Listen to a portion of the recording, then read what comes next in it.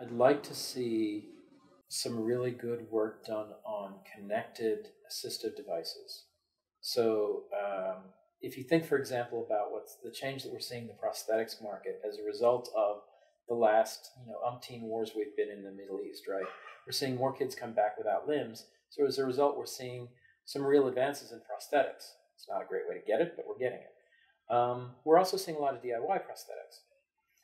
Um, I think we're going to see more and more instances of prosthetics that have, say, a tablet interface or a phone interface, so you can you can get a sense of whether they're ill-fitting. You can do minor adjustments, that kind of thing, and you can even uh, customize them a little bit. Uh, I think we'll see the same thing with other assistive devices, everything from hearing aids to uh, glasses to you, you, name it. There, um, I don't mean Google glasses. I mean regular glasses. Um, and I, I hope we'll start to see some of that in medical space in general, because if you think about it, the largest generation we've got right now and most prosperous are the baby boomers. And they're getting old. And they got money to burn. So if I were a 20 something right now trying to figure out how to make a million dollars, I would be looking at geriatrics. Um, and I'd be looking at connected geriatrics because having the ability to um, to monitor, to customize, and to make comfortable is going to be huge in that space.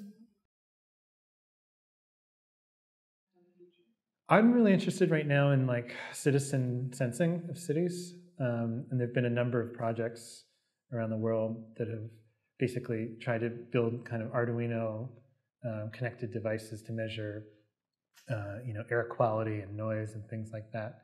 And I think those kinds of, of data are going to allow people to mobilize all kinds of campaigns, you know, against polluters, uh, against you know noise, crime, tainted food, whatever whatever it is. Um, there's been a lot of talk in the um, kind of pedestrian and, and, biking activist community in New York about how we can start measuring and tracking speeders as part of the Vision Zero campaign and just some really interesting ideas about yeah we'll put you know iphone cameras in, in windows and do machine vision and, and, you know identify the speeders.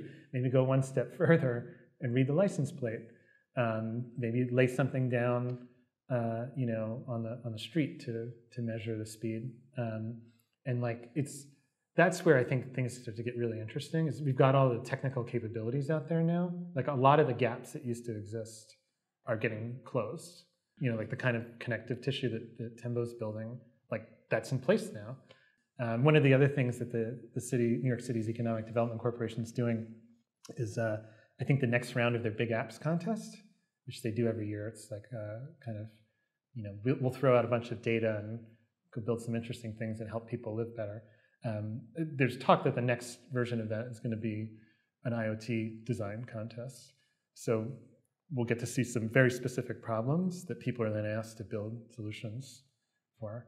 Um, and like that's that's when you start to see all the pieces come together. I like to say that like smart cities are the crucible for the Internet of Things because it's it's sort of like like a neutron star where um, you've got the, the problem havers, the cities, the businesses, the citizens.